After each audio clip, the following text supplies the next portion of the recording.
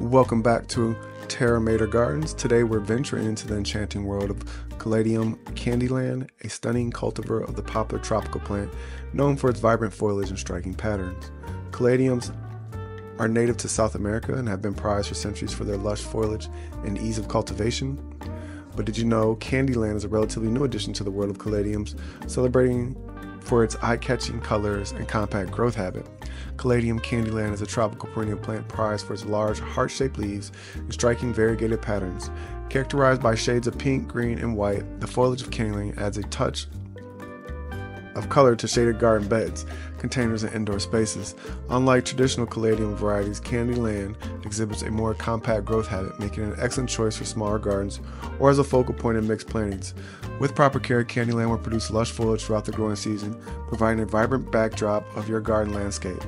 To cultivate can- Caladium Candyland successfully, provide a warm, humid environment with filtered sunlight or partial shade.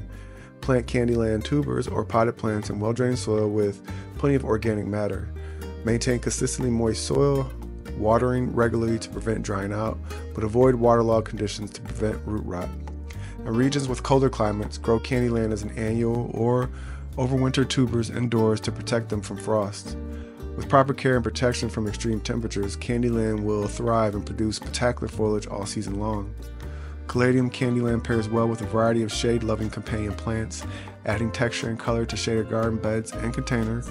Consider combining Candyland with other tropical plants like ferns, hostas, and begonias to create lush, tropical inspired landscapes.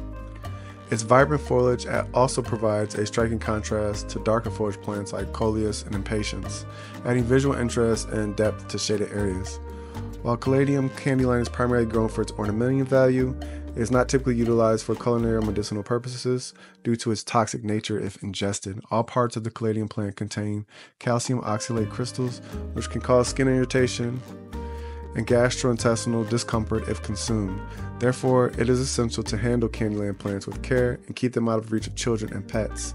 Thanks for joining us today on this journey into the exploration of caladium, caladium candyland. Don't forget to like, comment, and subscribe for more plant profiles.